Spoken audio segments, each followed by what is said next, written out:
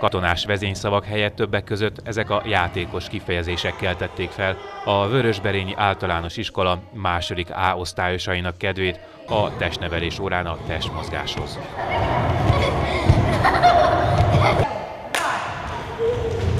A bemutató foglalkozáson nem csak izmaikat dolgoztatták meg a tanulók, az újszerű pedagógiai modellnek az a célja, hogy a különböző érzékelési csatornákat is bekapcsolják a tanulási folyamatba.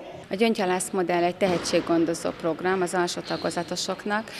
Igyekeztünk a testnevelés órába olyan eddig nem megszokott mozgásformákat bevinni, ami az ügyesség, a gyorsaság, az állóképesség fejlesztésén túl a, azokat a képességeket, logikai gondolkodás, probléma megoldó képesség, memória, kreativitást is fejleszti, ami a többi tanórához is nagy segítséget nyújt, illetve az élet többi területén is egy komplexebb segítséget, támogatást ad.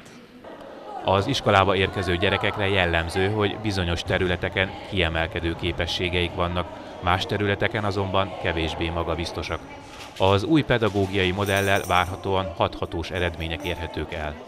A második osztályosokat szeretnénk felmenő rendszerben egészen negyedik osztályig ezzel a programmal fejleszteni, és én azt gondolom, hogy ezek a módszerek, amiket mi itt alkalmazunk, ezek a szenzomotoros tréningre alapuló mozgásminták, más kultúrtechnikák, más tantárgyaknak az elsajátításában is segítenek, lévén, hogy itt minden kognitív területet, tehát az emlékezetet, figyelmet, észlelést egységesen fejlesztjük, fejlesztjük.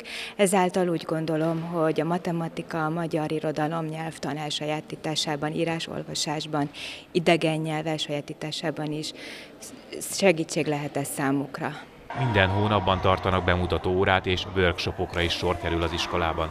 Veszprém megye több oktatási intézményéből rendszeresen látogatnak pedagógusok a gyöngyhalász modell megismerésére, akik saját tanítványaik körében is hasznosíthatják a megszerzett tapasztalatokat. Mivel azt is tudjuk, hogy a mozgás mennyire összekapcsolódik a beszéddel, a, az írással, ezért ezeket a mozgásfejlesztő órákat nagyon sokszor összekötjük különböző versekkel, dallamokkal, énekekkel, hogy mind-mind ez a kettő fejleszte a gyereket, és tulajdonképpen ezeknek a mozgásfejlesztő órákon játékos formában jutunk el egy magasabb értelmi szintig. A mindennapos testnevelés részeként a bemutató órán látott gyakorlatok izgalmas eszközökkel, változatos akadálypályákkal, különleges egyensúlyi helyzetekkel erősítik a figyelem megtartását, a koncentráció növelését és támogatják az idegrendszer érési folyamatait. A feladatok többségét a gyermekek párban végzik, ezáltal az együttműködési, valamint a probléma megoldó készségeik is fejlődnek.